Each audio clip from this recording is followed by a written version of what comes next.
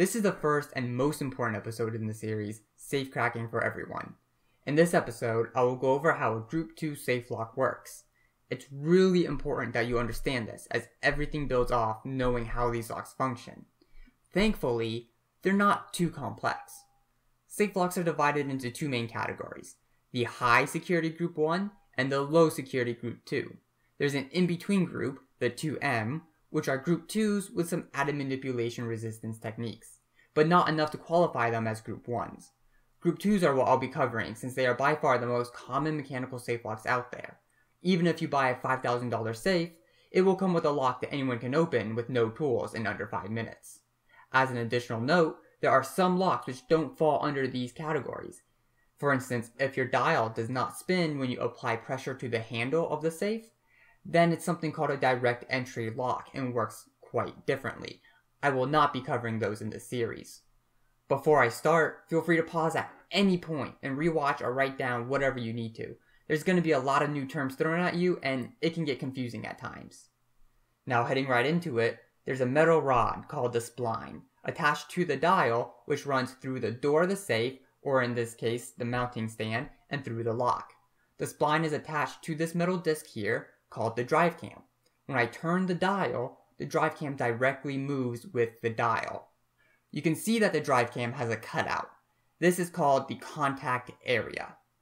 Resting on the drive cam, you can see a protrusion from a lever. This protrusion is called the nose. When I turn the dial so that the contact area is under the nose, you can see the nose drops down a bit into the contact area. Now there's two points at which the nose will come back into contact with the drive cam. You can see it hit the drive cam here and here. These points of contact are called the left and right contact points. The contact point on the more sloped side of the drive cam here is called the right contact point because when you're standing in front of the lock, that appears on your right.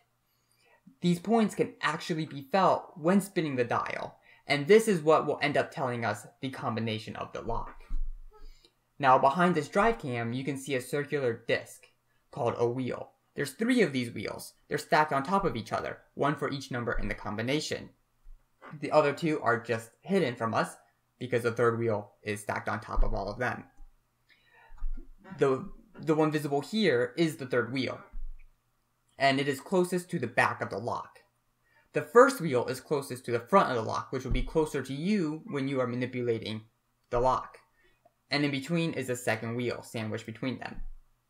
Each wheel has a cutout, as you can see. It's called a gate. Gates correspond to a number in the combination. Dialing the correct combination will align the gates, and here's why they need to be aligned. You may have noticed that when I spin the dial so the contact area is under the nose, the nose does not drop all the way down. That's because attached to the lever is a bar, as you can see here. When the nose is in the contact area, that allows the fence, which is the bar, to rest on top of the wheels and prevents the nose from falling further if the incorrect combination is dialed. So when the correct combination is dialed and the gates are all aligned under the fence, the entire lever assembly can fall down. Turning the dial further will retract the bolt and unlock the safe handle.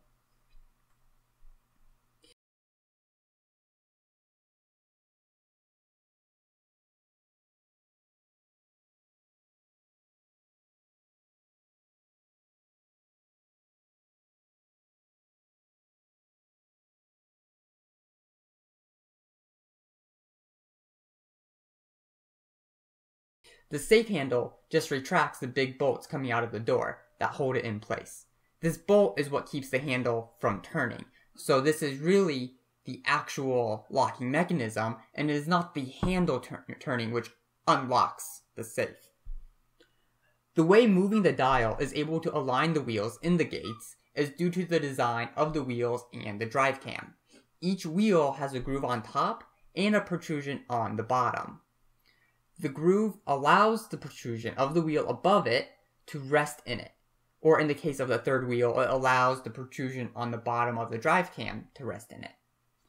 If you imagine my lockpick as a wheel, you can see that the protrusion will move smoothly until it hits this metal stopper, at which point it will pick up the next wheel, meaning it will cause the next wheel to spin with it. You can see this when I spin the dial.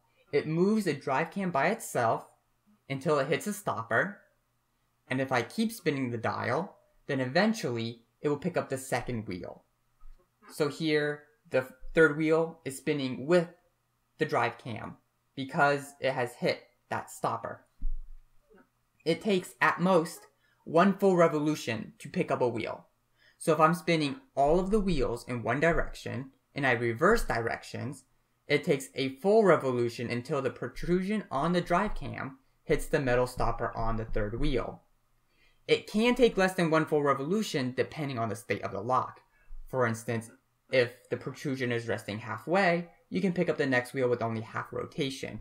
So if I have the third wheel spinning with the dial here, with the drive cam, and I rotate halfway in the other direction and I just leave it like that, then when you come back to the lock, you only need half rotation to pick up that third wheel again. The standard opening procedure for opening a lock is spinning the dial four times to the left to the first number, meaning you pass it three times and you stop on the fourth time. Then you turn three times to the right to the third number, meaning you pass the third number twice and you stop on the third time. Then reverse directions yet again and go twice to the left to the third number. So pass it once and stop on the second time. Then you turn the dial to the right until the lock opens, which is when the dial doesn't want to spin anymore. That's when the bolt gets retracted. Maybe you already know the reason for this. Pause for a bit and think about it. Maybe it would help visualize things and you can check to see if you're correct. Now, the reason is because you don't know the state of the wheels when you go to manipulate. Turning the dial to the left four times ensures that all the wheels are picked up, which means they're all spinning together. It takes up to one full revolution for the drive cam to pick up the third wheel, remember? So up to one more full revolution for the second wheel to pick up, and then up to one more full revolution for the third wheel to pick up, for a total of three revolutions of the dial to be 100% sure you have picked up all the wheels and that they are all spinning together. But you still have to go to the first number in the combination. So the three revolutions you already did means you passed that first number three times. So keep turning the dial and stop on the fourth time. So that's why you spin four times to the first number, even though it only takes three rotations to ensure all the wheels have been picked up. And it's the same thing with the other wheels and numbers in the combination. If you haven't figured it out by now, this is why the wheel closest to the drive cam is called the third wheel. It's because it corresponds to the third and final number in the combination. Since it gets picked up first, that means you cannot set the position of any other wheel without disturbing the position of the third wheel. You have to set that third wheel last. The first wheel, being last to pick up since it is furthest from the drive cam, is capable of being left alone while moving the other wheels to wherever you want, as long as you don't turn too much and pick it up again. So if you have a lock already, I highly recommend take off the back cover and mess around with it. Look and feel for yourself how it works. Feel the contact points on the dial. Feel what it feels like to pick up a wheel. To feel greater resistance in the dial with each successive wheel being picked up. Every Group 2 lock works this way. There's a few minor differences, but that only pertains to the actual manipulation, and I'll be covering that in later videos.